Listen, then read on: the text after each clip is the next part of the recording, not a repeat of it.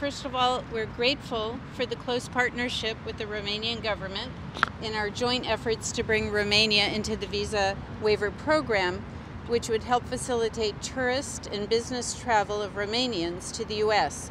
without the need to apply for a visa. The program is administered by the U.S. Department of Homeland Security and is premised on cooperative efforts with partner governments to ensure U.S. border security requirements are met. A number of important steps still need to be completed in the coming months to establish whether Romania is in fact eligible to participate in the visa waiver program. We anticipate that further consultations will be taking place between our two governments later this fall to review Romania's adherence to a number of previously agreed upon security measures. In the, in the event of a favorable decision being taken by the U.S. government to include Romania in its U.S.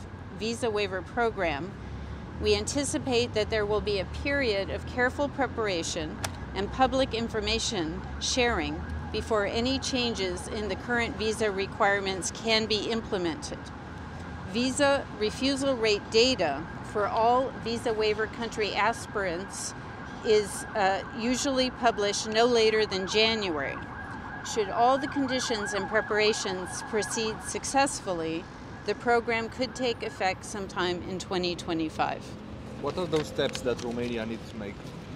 Uh, there are a number of steps regarding security and information sharing and uh, we have signed a couple of agreements on those that will need to be implemented. Your Excellency, after this visa waiver, can we expect uh, to further negotiations between the Romanian and the American part, for example, for the Romanians that would like to study there, to work there, or to go to treatment?